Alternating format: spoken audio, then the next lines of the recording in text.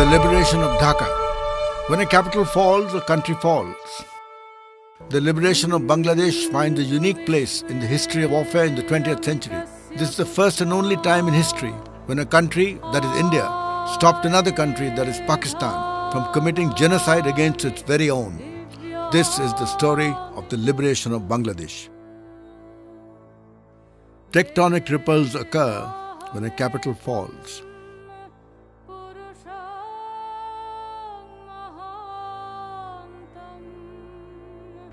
Can it not be fairly put to you that you're contributing in a way to the exodus of the refugees by your support for the Pakistan guerrillas? Now, mustn't you, in effect, uh, face the, the, question of having to reduce your support uh, for the guerrilla armies operating in East Pakistan? Does that mean we, we allow a massacre to continue? What happened first? How many people were killed according to your correspondence of British newspapers? The massacre began long before there was a single guerrilla. But it's a contribution to, uh, to quietening the situation, as I say. No, uh, what does quietening mean? Does it mean that we allow, we support the genocide? And do you think it can be stopped? Do you think people are going to sit aside and watch their women raped in front of them? And say that, no, we are going to quieten the situation? That's not quietness. That is the worst possible type of war, is the worst possible type of violence. Well, I'm watching it with great patience. And I'm warning the world that if they have any idea of taking a chunk of my territory in East Pakistan think this is not war, let me warn you, and I warn the world, that this will mean war, an overall war, which I hate, I don't like. But for the defense of my country, I must then fight an all-out war. That will be mean war here in West Pakistan. How close are you to war with India? Very near it.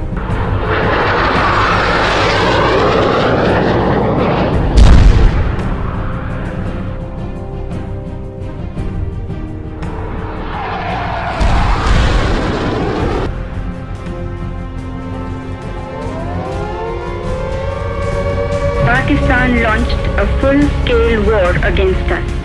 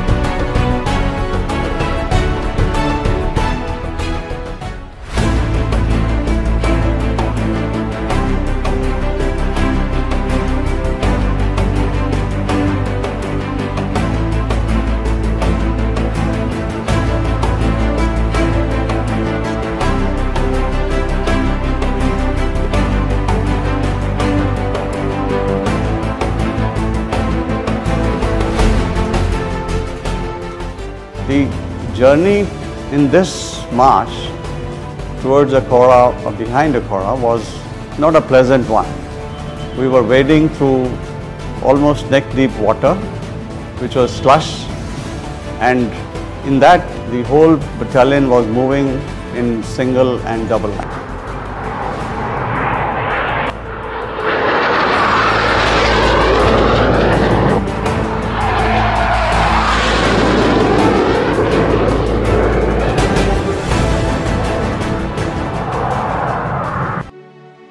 Major General Gonzalez, GOC 57 Mountain Dev.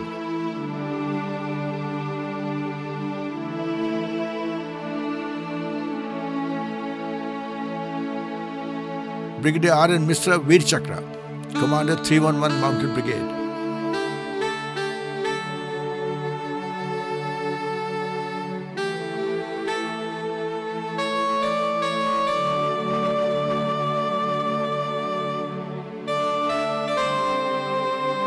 Lieutenant colonel Himmat Singh C CO Fogart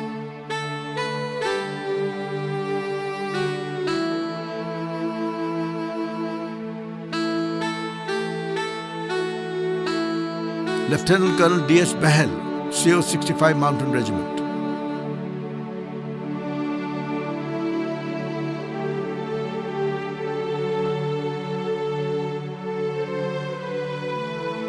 lieutenant colonel Ashok Kalyan Verma CO 18 Rajput.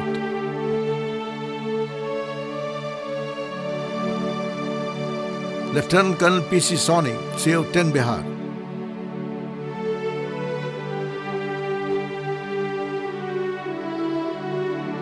Major Chandrakant Singh, Veer Chakra, Company Commander 4 Guards.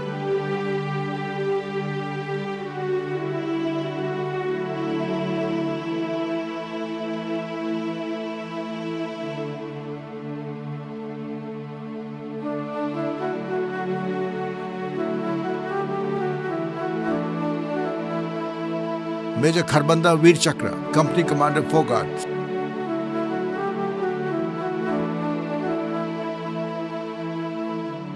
Major Marwah Sena medal, company commander Phogat.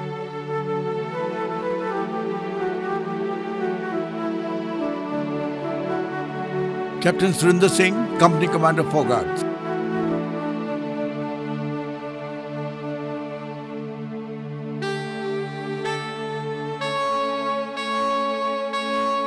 Captain Manik, Motor Platoon Commander 4 Guards.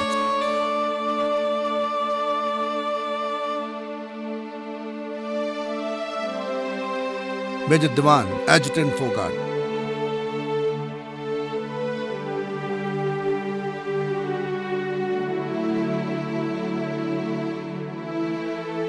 Major Dillon, Battery Commander, 65 Mountain Regiment.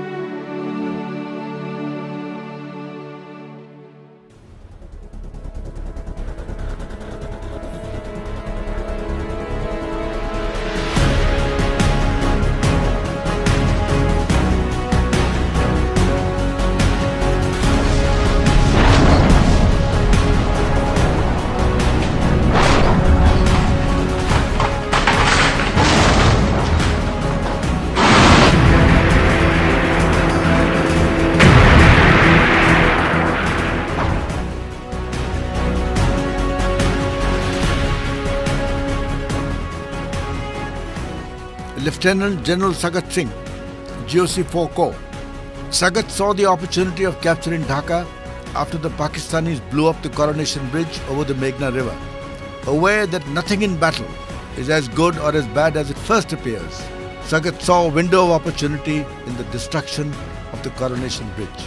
He knew the strategic value of capturing the Pakistanis' geopolitical center of gravity, Dhaka, and he went for it.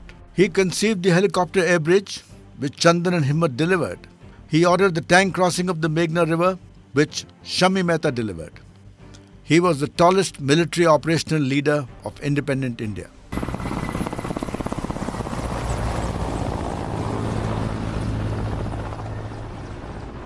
General Sagat's Indian Air Force troubleshooter, also known as an out of the box thinker and man of action, was Group Captain Chandan Singh. Ordered to provide a heli bridge when the Coronation Bridge fell, he made it possible.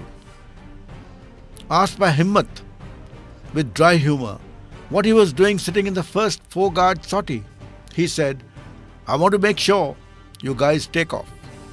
Group Captain Chandan Singh awarded AVSM for opening air routes in Ladakh and NEFA in 1961 and Veer Chakra during the Sino-Indian War 1962 for airdropping supplies in Chipchap Valley despite intense enemy fire and landing the first AMX-13 tank in an AN-12 at Chushul. Chandan is a rare air warrior, infantry and tankman all rolled into one. He ensured that all 10 helicopters of his helicopter unit took off simultaneously, achieving the rare feat of Balbo in war. In fact, the moment the helicopters landed at Raipur, the capture of Dhaka became a foregone conclusion. The die was cast.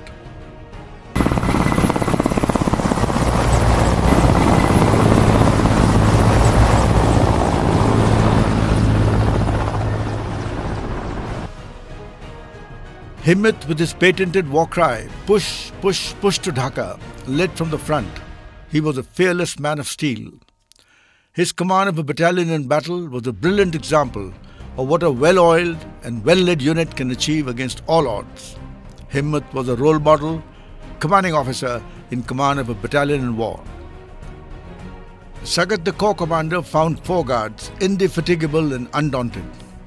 He would recount the tough battle of Akhaura, crossing of the Meghna, opposed river crossing of the Lakya River, and always said, Himmat, you've always been in the van.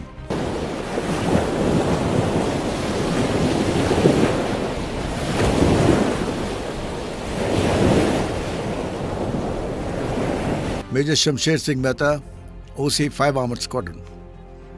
My tanks audaciously floated across the mighty Meghna, reuniting with Himmat's outfit, with whose rank and file we had developed mutual respect because of shared acts of bravery, courage, and daring. Sidney Schanberg, a Pulitzer Award winning war correspondent, wrote an exclusive for the New York Times, dateline 17 December 1971. He titled it Two Men at a Table, covering the Pakistani capitulation to the Indian and Bangladeshi forces. Seven Western foreign correspondents, including Schanberg and Janatullah, witnessed four guards and five armored squadron in brilliant action.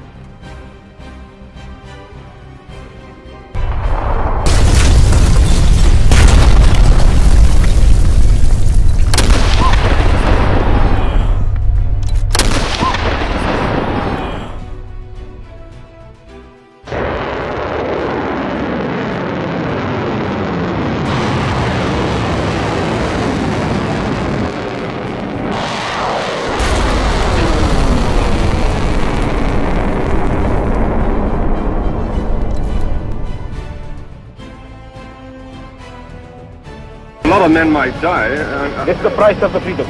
but what freedom? Not yours. It's mine, yes, my country, Pakistan. You still consider that you stand a fighting Pakistan chance will of... stay, yes, inshallah it will stay. I'll give you 30 minutes, and if you don't accept it, I will have no option but to order resumption of hostilities and bombing of Dhaka cantonment. Uh, the paper I gave him was lying on the table. I said, General, do you accept this?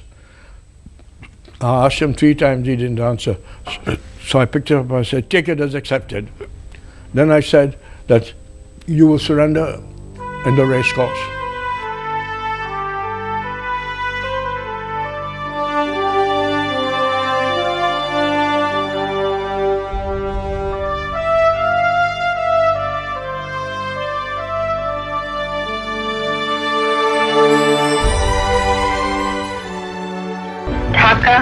Is now the free capital of a free country.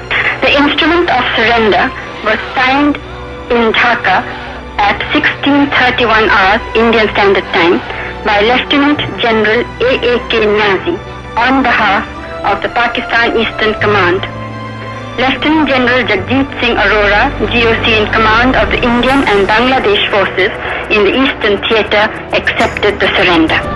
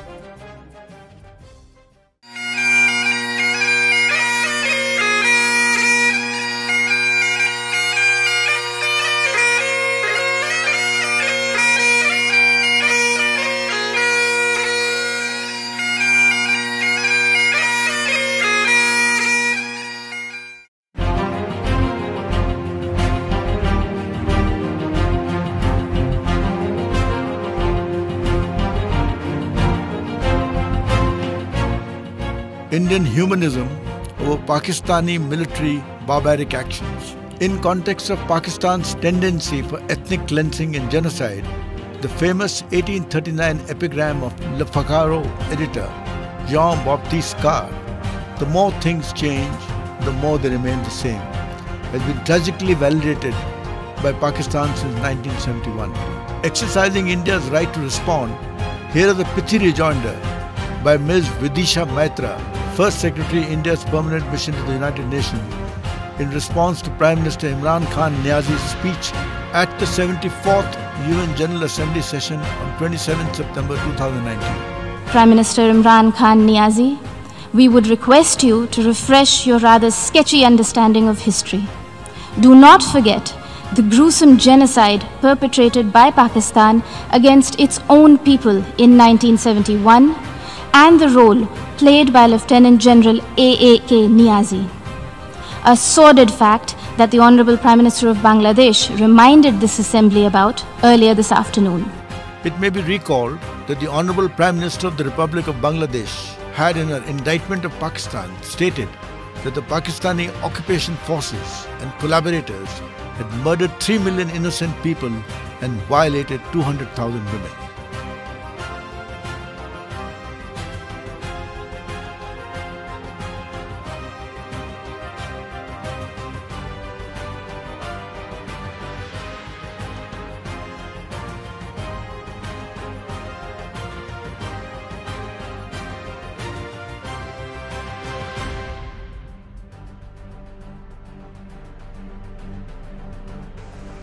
Before the Indian Army can think about leaving Bangladesh, 93,000 Pakistani prisoners of war will have to be transported to India. 25,000 of them are here in the Dhaka cantonment getting ready to leave, guarded from possible Bengali vengeance by the men with whom less than a fortnight ago they were at war.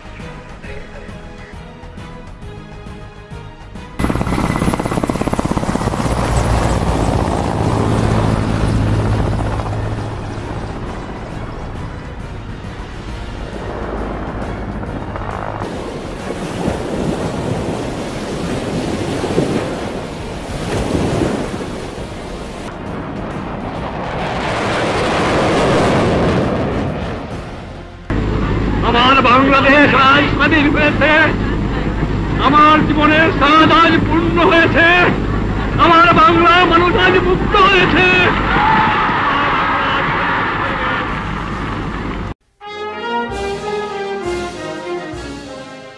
The liberation of Dhaka and the creation of the People's Republic of Bangladesh, besides being a never before achieved political strategic victory in the annals of world history, is a scintillating primer about a realistic slice of this history as it was unfolding over 14 days. Indian political will, military skill, ethics, and morality on ground stand out in sharp contrast to the genocide and debauchery by the Pakistanis against their own people. The role of the brave Mukti Bahini and people of Bangladesh, led by Bangabandhu Sheikh Mujibur Rahman and the valiant Bengalis of erstwhile East Pakistan, is a tribute to their indomitable courage, grit, and perseverance.